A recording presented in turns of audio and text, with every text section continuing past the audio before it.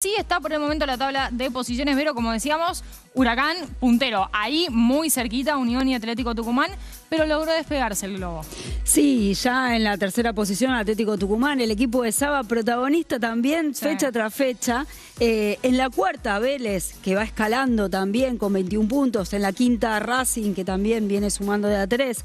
Talleres, el rival de River en Copa Libertadores, está en la sexta posición. Instituto en la séptima con 18. Boca Juniors, después de una importantísima victoria Sí. local contra San Lorenzo, en la octava. River en la novena, que a todavía está buscando. pegaditos. Sí, pegaditos. eh, atención a- al clásico, ¿no? También.